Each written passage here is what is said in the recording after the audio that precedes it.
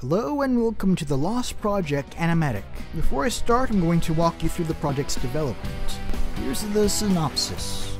A woman sleeping in an office has a surreal dream, wakes up, and goes to a music festival.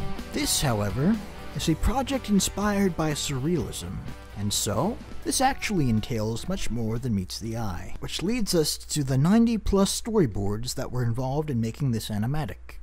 It all started, of course, with concept sketches, such as this one. I didn't end up using this character design because I thought it was too simple and generic, and I eventually did some more drawings and it ended up with something like this, which looks almost like a Ronald Searle character, but I ended up going with this design. I don't know what prompted me to do something like this, but I just sort of drew it and it came out like this, and I decided to go with this design. It was developed further until I had the final character sketches in the proper dimensions.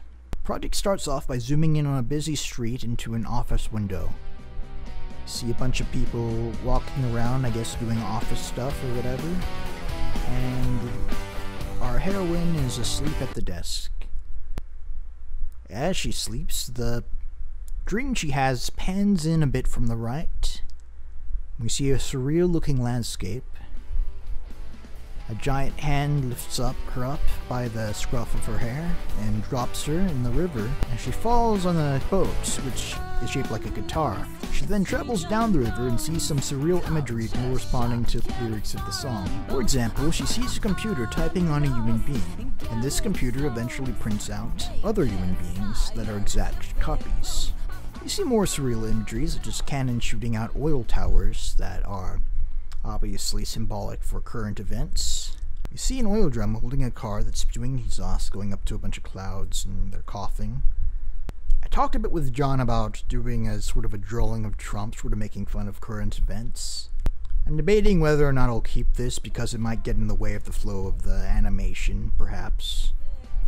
But if I were to keep it in, it would be here. And then we see a bunch of anthropomorphic banknotes walking around with human beings in their pockets. It's sort of an homage to Disney's Alice in Wonderland. We see this bird that has a mirror to her body. Sort of this funny scene. She flies around our heroine, and we see that the reflection in the mirror is alive itself, and it pulls on our heroine's hair. And here we see video game characters dancing and an old style 1980s looking arcade machine. And I have here the pixels in the shape of lips singing along to lyrics of the song as they play in this section here. We see this strange looking tunnel that carves out of this desert landscape, and our heroine goes in it on her guitar boat. She's surprised to see these bat like creatures that have remote controls for bodies. And she grabs one of them changes the channel on the television sets from the lips that will be singing along to the that will be lip syncing along to the song in this scene. And she changes it to this sort of old cat and mouse looking cartoon parody. She eventually goes out of the tunnel and the river zigzags in sort of a surreal way not really connecting to the land. Going in this sort of s shape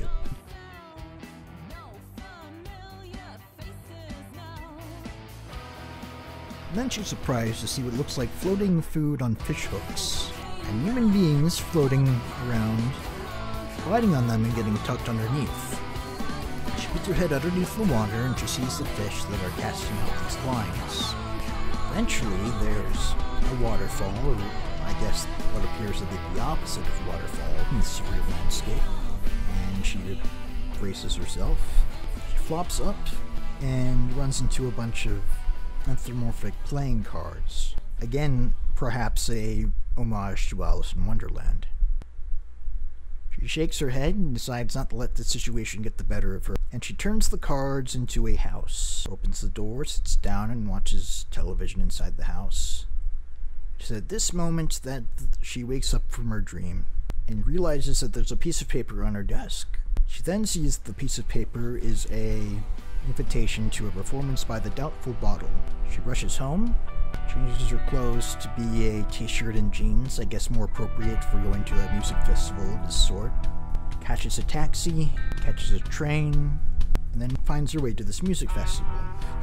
and slowly smiles as she's happy to see the band playing. I don't have drawings of the band here, but I eventually have them saved with the other storyboards. She then dances, and this will be a very complex animated scene in the music video, one that I'm very excited on working on. After she dances, she's reasonably tired. She stands there, sort of with a sort of satisfaction, and the background pans to show her in her room. She flops down on the bed and turns off the light. That is the plot of the music video. As she turns off the light, I sort of want her arm to change into like a white line and then sort of dissipate. Something I remember seeing in a Donald Fagen music video where the character grabs the light and sort of dissipates in the same way. But I'll do it in such a way where it looks different enough that it's not doesn't look like it, I'm stealing from that. That more or less is the plot of the music video. If you have anything that you don't like, I can get rid of it easily and pull it out. The boards themselves won't take very long to make, and I can even make them in a simpler form just so that they're a placeholder to show me what they look like. And if even after that stage there's anything you'd like to change, I can change it in editing and make a new scene. And that is the state of the project so far. Hope you're pleased with what you see, and I hope you have an enjoyable day or evening or whenever you see this. And thank you for your time.